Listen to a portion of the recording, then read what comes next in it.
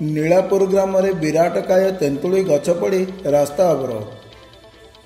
ଗଜପତି ଜିଲ୍ଲା ଗୋସାଣୀ ବ୍ଲକ ଅନ୍ତର୍ଗତ ବଡ଼ ଗୋସାଣୀ ଗ୍ରାମ ପଞ୍ଚାୟତର ବଡ଼ ନୀଳାପୁର ଗ୍ରାମରେ ଲଗାଣ ବର୍ଷା ଯୋଗୁଁ ଏକ ଶତାୟୁ ବିରାଟକାୟ ଗଛ ପଡ଼ି ରାସ୍ତା ଅବରୋଧ ହୋଇଥିବାର ଦେଖିବାକୁ ମିଳିଛି। ଆଜି ମଧ୍ୟାହ୍ନ ଦୁଇ ଘଣ୍ଟା ସମୟରେ ବିରାଟକାୟ ତେନ୍ତୁଳି ଗଛଟି ପଡ଼ିଯାଇଥିଲା ଫଳରେ ଗ୍ରାମ ଦେଇ ଯାତାୟାତ କରିବାରେ ସମସ୍ୟା ଉପୁଜିଥିଲା। ଖବର ପାଇ ବଡ଼ ଗୋସାଣୀ ସରପଞ୍ଚ ବି ମୋହନ ରାଓ ପାଳାଖେମୁଣ୍ଡି ଅଗ୍ନିଶମ ବିଭାଗକୁ ସୂଚନା ଦେଇଥିଲେ। ପାଳାଖେମୁଣ୍ଡି ଅଗ୍ନିଶମ ବିଭାଗ ତୁରନ୍ତ ଗ୍ରାମରେ ପହଞ୍ଚି ଗଛଟିକୁ କାଟି ସଫା କରିଥିଲେ।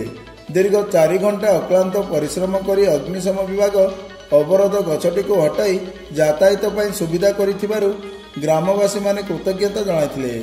ଅଗ୍ନିଶମ ବିଭାଗର Maguni Behera Gobinda Panigrahi CK Das P Nayak B Jani S Dalai ପ୍ରମୁଖ ଗଛ କାଟିବାରେ ନିୟୋଜିତ ଥିଲେ।